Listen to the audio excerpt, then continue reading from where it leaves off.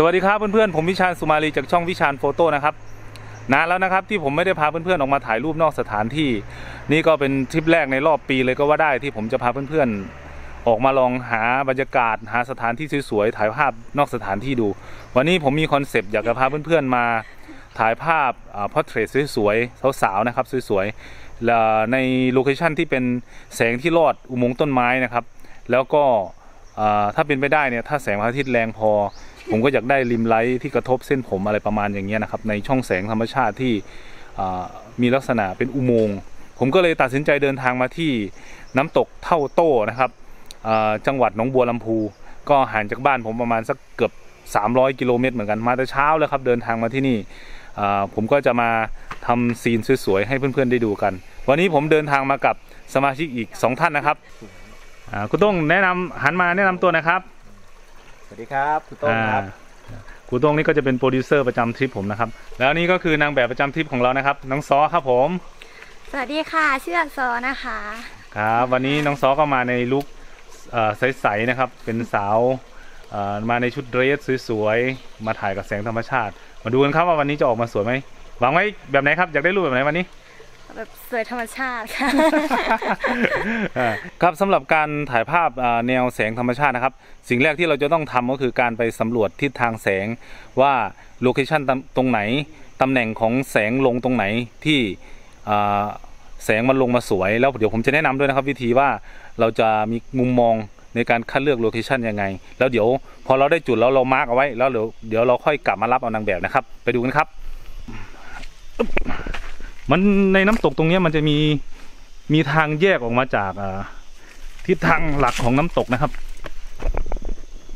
ผมก็จะพาเพื่อนๆเลี้ยวออกมาทาง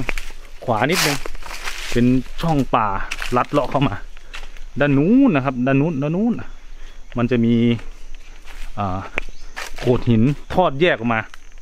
แต่จริงๆตัวน้ำตกมันจะจะไปทางนู้นนะครับ แต่เราจะแยกออกมาอีกทางหนึงเพราะว่าที่ทางแสงด้านนี้เหมือนจะสวยกว่า ครับเพื่อนๆมาเราออกจากน้ำตกมานิดเดียวนะครับ มันเป็น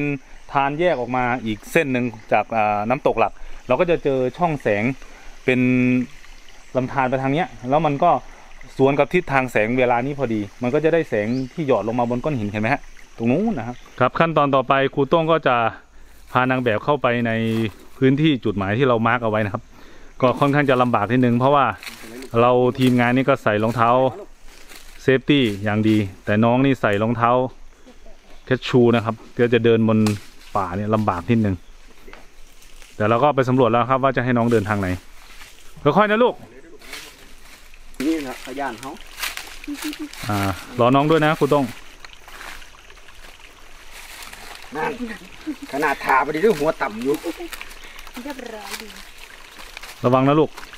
นั่น เดินทางเข้าโลเคชันก็ลำบากนิดนึง หมวกเกาะไม่ระวังลื่นลูกระวังลื่น หมวกเกาะไม่ใครเด้อเออ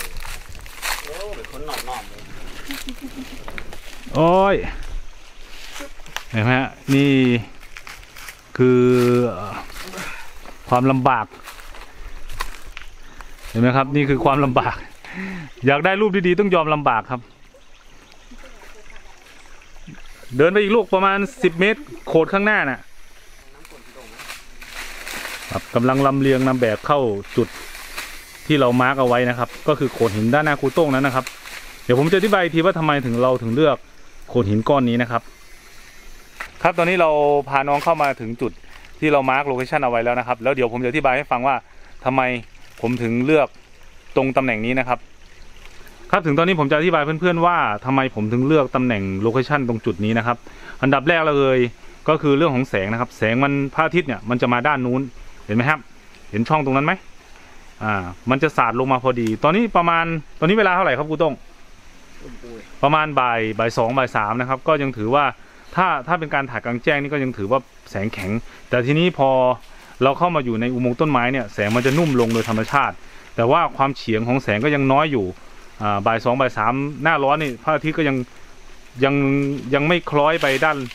ด้านข้างนะครับ มันจะยังอยู่เกือบเกือบๆตรงหัว เราก็ต้องอาศัย ช่องของแสงอุโมงค์แสงเนี่ยลอดลงมาจากต้นไม้แทนนะครับ ลงมาที่แบบ ทีนี้น้องน้องซอหันมาทางนี้ลูกอ่าเดี๋ยวผมจะให้สังเกตดูที่ด้านบนของศีรษะของน้องเอามือจิ้มหัวสิอ่าเห็นไหมครับมันจะมีแสงลอดลงมาตรงเส้นผมของน้องพอดี เกิดเป็นริมไลท์เราก็จะเอาแบบไปวางตรงนั้น สังเกตตรงเท้าน้องนะครับอ่าเอามือชี้ตรงเท้าสิลูกอ่ามันก็จะมีแสงอยู่วงๆอะอยู่รอบๆน้องนะครับ นั่นก็คือเป็นช่องที่แสงมันลอดลงมาพอดี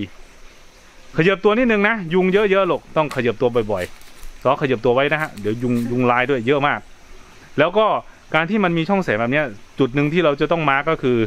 มือ reflect ของเรานะครับ ตรงตำแหน่งของครูโต้งครูโต้งก็วาง reflect ไว้ตรงนี้เพราะว่าครูโต้งเนี่ยมองแล้วว่ามันมีเจ้าช่องแสงอีกก้อนหนึ่งลอดลงมาตรงจุดนี้ครูโต้งก็จะเอา reflect เนี่ยอัดกลับเข้าไปที่แบบนะครับเดี๋ยวครูโต้งลองสาธิตดูนะครับว่าอ่าแสงที่เราจะเอามาทำเป็น key light ที่เราจะอัดจาก reflect กลับเข้าไปเนี่ย อ่าเราต้องหายังไง เราต้องรีบถ่ายรีบออกไปลูกยุงเยอะเห็นไหมฮะครูโต้งก็จะไปยืนตรงตำแหน่งแสงอะเห็นไหมพอครูโต้งขยับ reflect ขยับ reflect ให้ดูนะครับครูโต้งเห็นไหมครับปุ๊บเข้านั่นดังนั้นสรุปก็คือเวลาเราเข้ามาถ่ายในสถานที่แบบนี้นะครับ อุโมงค์ต้นไม้แบบเนี้ยเราจะต้องเลือกอ่าแสง rim light เนี่ยที่อยู่ด้านหลังนะครับ แล้วก็ตรงแบบเนี่ยให้มันมีแสงลงมาตรงผมและไหล่แล้วก็ต้องหาทิศทางที่ ช่องแสงอีกอันหนึ่งลอดมาโดน reflect เพื่อที่เราจะเอาไว้อัดกลับไปเป็น key light นะครับ แบบนี้เนี่ยนะครับก็คือองค์ประกอบที่เราใช้เลือกแสงธรรมชาติในการถ่ายอุโมงค์ต้นไม้ใน location น้ำตกแบบนี้นะครับนี้เราจะมาเริ่มถ่ายกันเลยครับ ครับตอนนี้ก็ทุกอย่างพร้อมแล้วนะครับแบบอยู่ในตำแหน่งแสงลงตัวทีมรีเฟกกูโต้งอยู่ไปทางขวามือของผมนะครับ ให้ key light เข้าทางนี้ แล้วก็สำหรับวันนี้ผมใช้กล้อง Panasonic G9 นะครับ แล้วก็เลนส์เป็นระยะ tele 85มิลลิเมตร1.7 เป็นเลนส์ tele ของทางค่าย Lumix นะครับภาพนี้ผมจะเอาเต็มตัวเป็นแนวตั้งให้แบบยืนอยู่บนโขดหิน แล้วก็ให้อุโมงค์ของแสงเนี่ยทอดไปข้างหลังนะครับ เรามาถ่ายกันดูครับใบแรกอ่านางแบบหันมาทั้งสองหันมาหาพี่นะ แต่ไม่ต้องมองกล้องนะลูกมองไปทางครูโต้งเมื่อเมือเหมือนอยู่ในธรรมชาติ ไม่ต้องสนใจกล้องแล้วลูกอ่า พสแอนแอนสะโพกนิดนึง อ่าหนึ่งสองอีกใบหนึ่งลูกหนึ่งสอง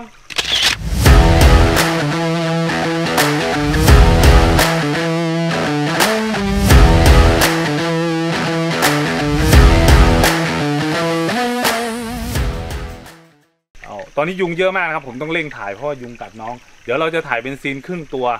อ่า เป็นช็อตครึ่งตัว ผมจะให้น้องเหมือนกับ อ่า ยก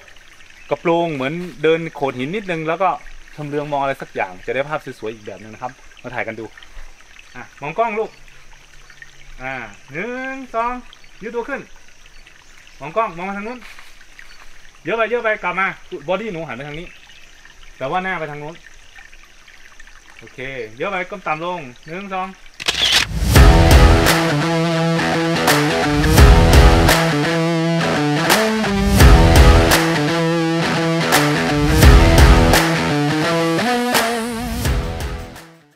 ครับเดี๋ยวเราจะย้ายไปอีกซีนหนึ่งตรงด้านนู้นนะครับมันจะมีต้นไม้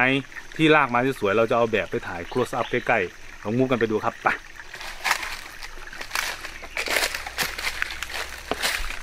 ครับตรงนี้เราย้ายมาอีกมุมหนึ่งนะครับมันมีต้นไม้ต้นหนึ่งที่มีรากต้นไม้ที่ค่อนข้างจะสวยงามมาก เราจะถ่ายเป็นมุม close up ใช้ครึ่งหนึ่งของแบ็กกราวน์เนี่ยเป็นต้นไม้แล้วก็อีกด้านหนึ่งก็จะเป็นอุโมงค์ต้นไม้นะครับลองมาถ่ายกันดู ต้องเร่งครับยุงเยอะมากอะน้องซอแบบนั้นเลยลูก ดี๋ยวนะหนึ่งสองมองกล้องหันไปลูกผมจะขยับซ้ายเอาโมงต้นไม้เข้ามายุ่งโอเค โอเค ก้มลงมองกล้องอยู่ใกล้ตัว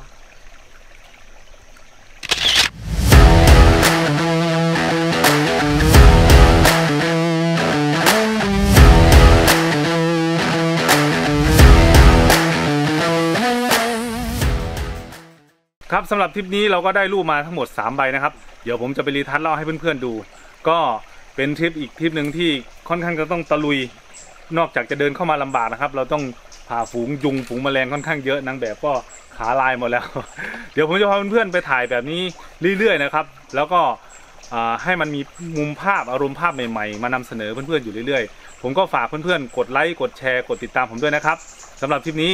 ขอบคุณเพื่อนๆที่ติดตามนะครับ ขอบคุณครับ